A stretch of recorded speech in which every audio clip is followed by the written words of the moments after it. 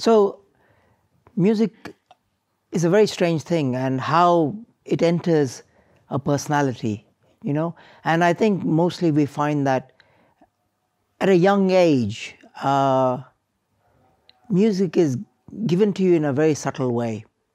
You hear the drips at a very young age, but at some time in your life, it will start flowing. The water will start flowing, or the music will flow within yourself.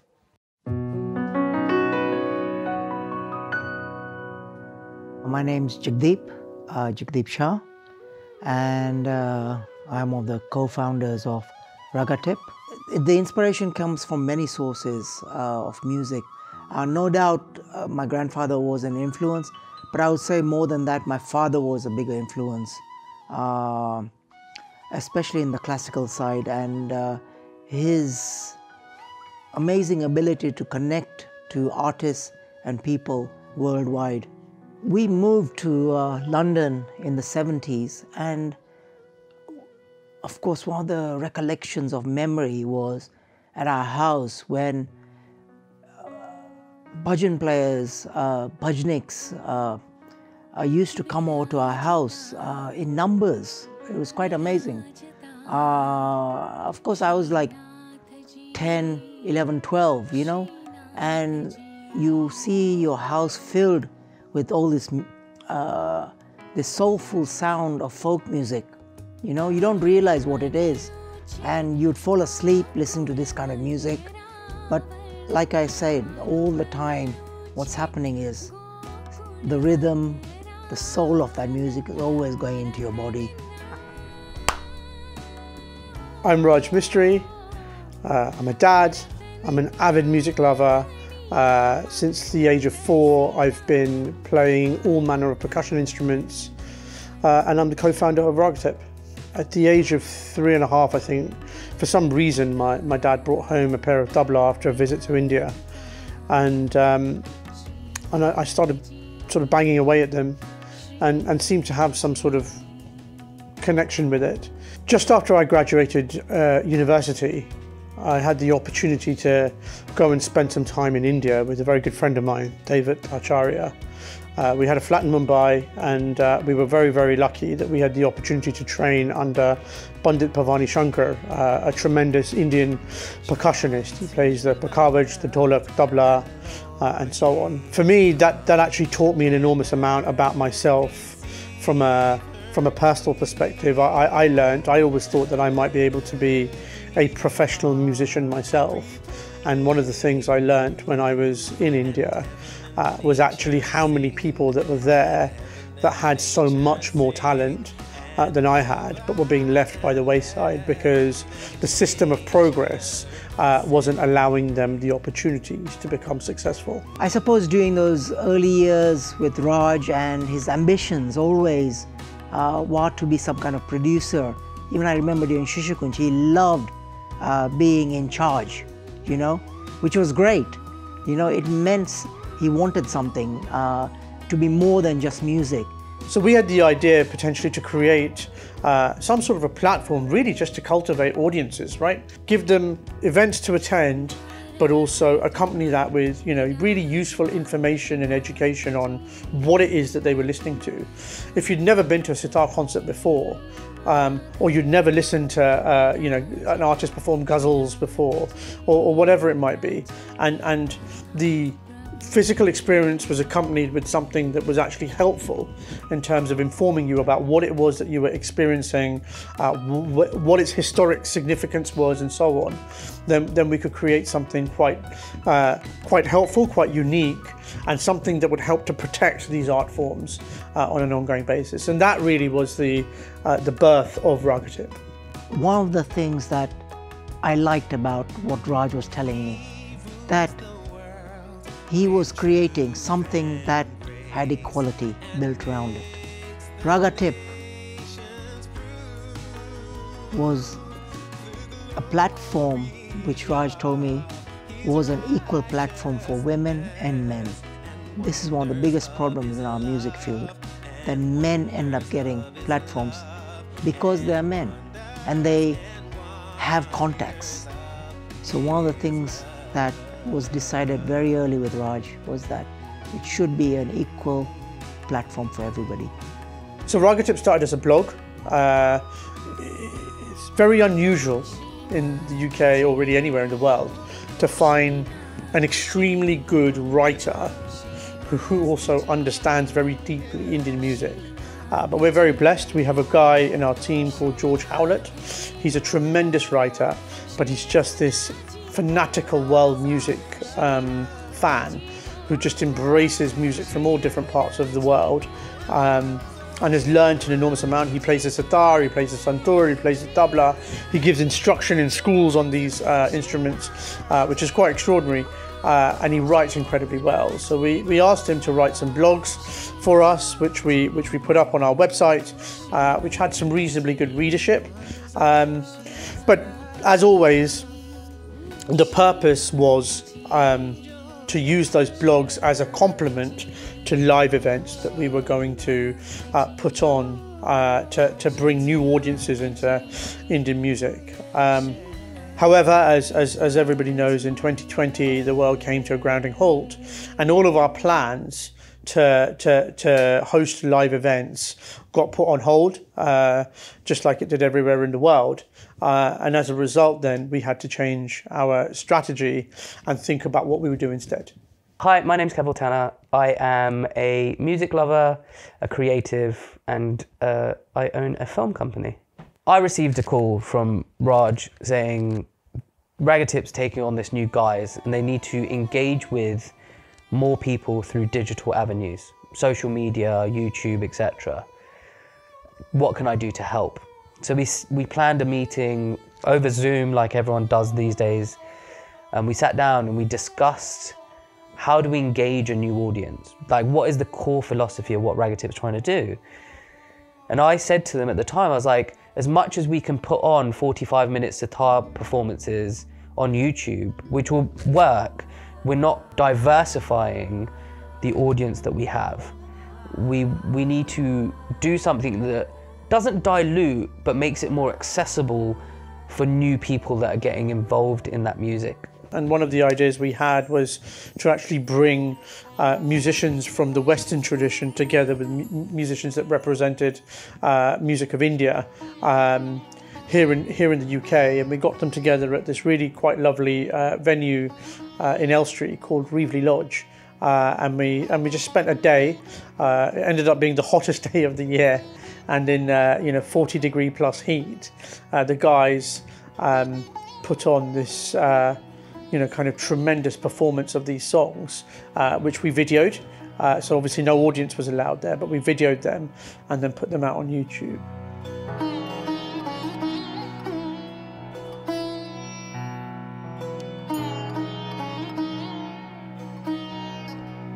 And there was something special in the air that day. It was 35 degrees.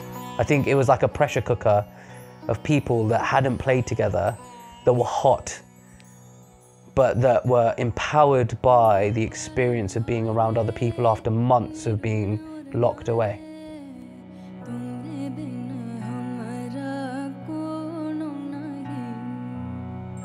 A community can come together. I think that was very important for us that this was about a community coming together and, and not only giving music, but giving all walks of art a chance. Uh, and, and uh, like I said, if you don't give people a chance, then they're never going to grow.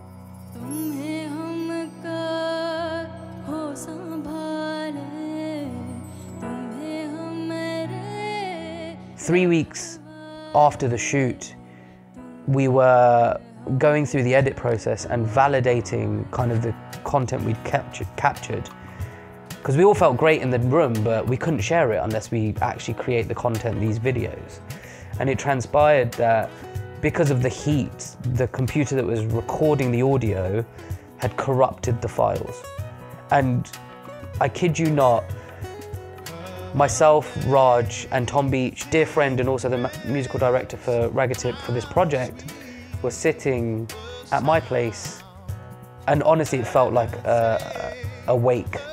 Like we were distraught that something so beautiful and pure that we'd created would never really see the light of day because of corruption and nothing we could do to fix it.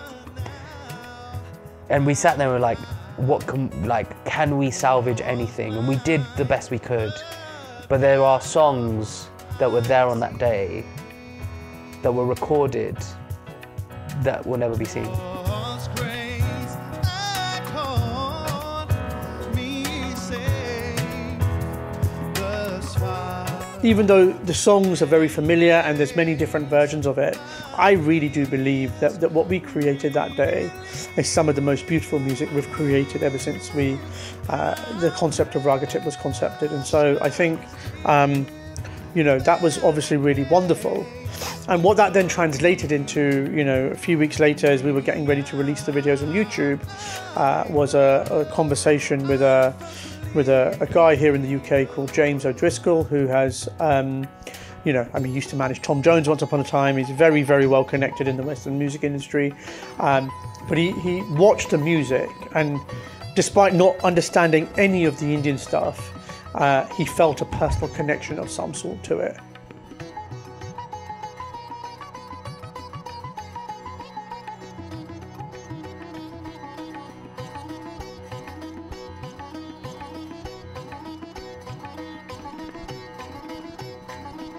I'm, I suppose, many things an artist manager, an A&R in the music industry, uh, project coordinator, lots of, lots of different things in music for about 30 years or so now.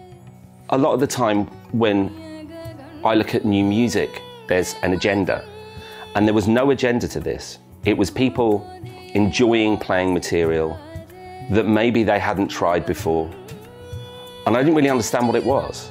But there was an honesty in it that was just quite challenging and quite different to watch. So he got in touch, we had a conversation, uh, and, and he really encouraged the fact that we should be looking to release an album, uh, which we hadn't concepted of at all. I mean, we hadn't thought about doing anything like that. Um, and so all of a sudden, we're in October 2020, you know, only a couple of months after we've done this first film shoot, and suddenly we're in Konk Studios uh, in, in, in London, North London, and, uh, you know, over a course of two days, we record uh, an eight track album. And all of those issues we had with the recordings at Reevely Lodge suddenly went away because we now have an opportunity to re-record them in a professional studio in London, in North London, Konk Studios, um, with the best kit in the most beautiful studio space, and we can put it down so we had a legacy of it.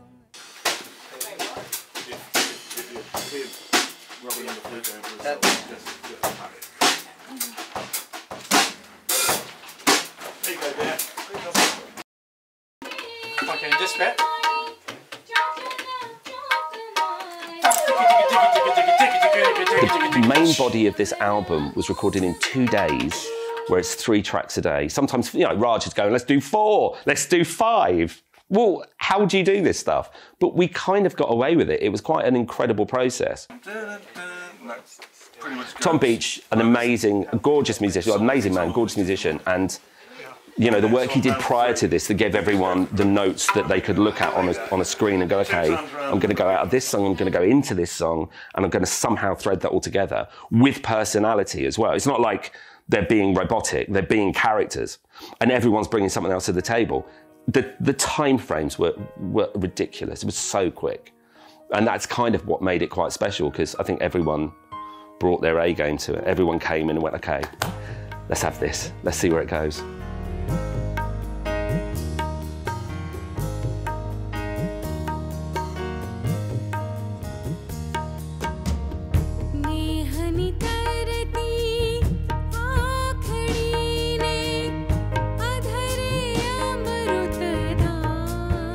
I mean, it's just amazing when you think that the, the idea was originally born in July 2020, and by the end of October, not only had we done a video shoot over the course of a day, but we'd also recorded a full album involving, you know, a huge number of, of, of musicians and, and, and singers uh, over a two-day period. And the number of people that had come on board to be a part of that album is, is really, you know, actually when you when you think about it and, and how quickly that's happened, uh, is quite amazing. And I think, you know, one of the reasons that that's happened is because um, the purpose of the organisation is is quite pure, right? All we are trying to do is be uh, as open as we can be to artistic talent. We invite people in. We say, look, you know, if you think you're good enough, show us what you've got, and if we can find a place for you in what we're trying to create, then absolutely we will.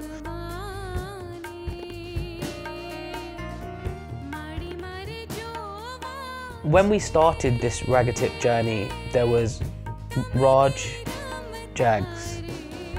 Obviously, I got involved.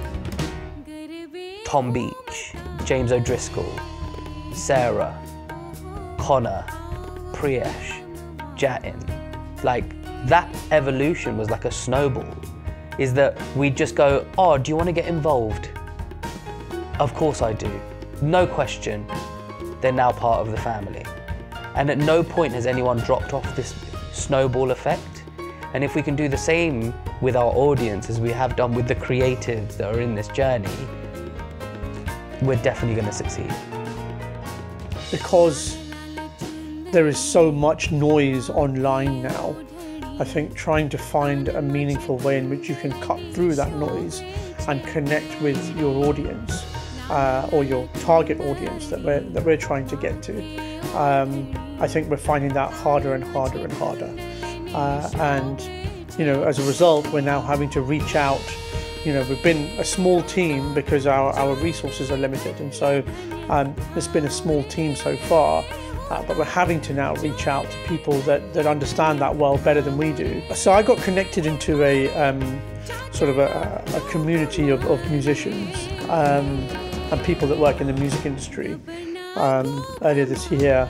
Initially, it was sort of like a support group for, for, for musicians, and it's just sort of stayed as a bit of a, a kind of a networking thing.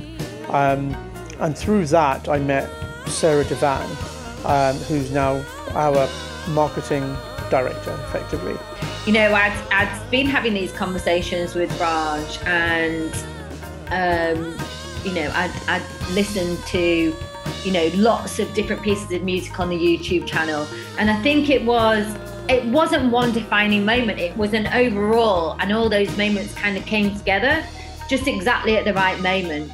And uh, I was so impressed by you know the people that are involved in it the passion behind it, you know, the ethos behind it. I mean, the aim is that as many people as possible would be able to hear this, but also benefit from what the actual community is. That the history doesn't get lost, that, you know, new music is made, um, and that, you know, we have this positive effect. And where that goes from here, you know, is really kind of how the community develops.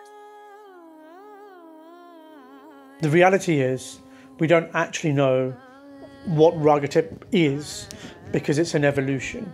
Um, it's a very young organization um, and it continues to evolve from what we thought it was to what it is right now to whatever it's going to become. But there are some values that sit at the heart of it. I think the first one is absolutely um, inclusivity. Uh, you know, we don't say no to people. We try to involve as many people as much as we possibly can. Secondly, I think quality.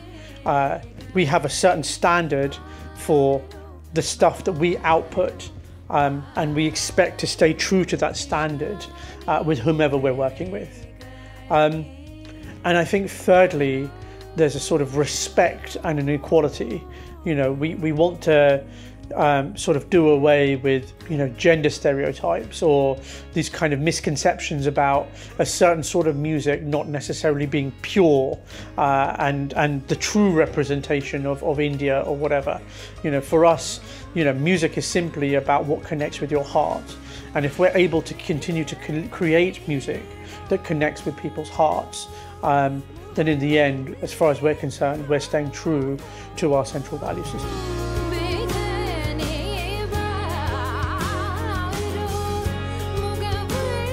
What I'd love to see is more more talent come to the fore from this. It was, I think, Raj and Jags' idea of bringing people who aren't household names in to the process is a, is a good one.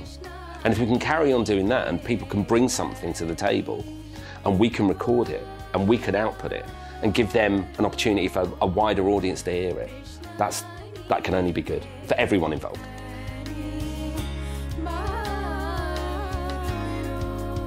Ragatip is all about opportunity. It's a platform for musicians, singers, dancers to come and showcase their talent to our audience. And we're always looking for more uh, of those artists to be a part of our journey. But at the same time, it's also a place where other creatives, uh, people that specialize in, in, in video or graphic design, uh, and, and, and really anything else that is the creative arts, um, to be a part uh, of what we're trying to create, uh, to help us to grow and move forward with our purpose. Um, so we want to welcome anybody that wants to be a part of this, uh, you know, with open arms, come and join us, help us grow and achieve our potential. The, the biggest question that I ask about Ragatip is how do we gauge success? Is success based on the number of viewers we get, the number of subscribers and engagements we get on the content that we share? Or is it based on the benefits we provide to the people that are involved, whether they're musicians, creatives, etc.? We've done countless things, we've brought in so many people. All I hope now is that those people that we've brought in that are creating and producing can find the audience that they deserve to have. I think the biggest thing my father has taught me about music is that music is there to be shared. When we talk about music, it's not just the music. It involves our spirituality, our heritage, our culture, and our language.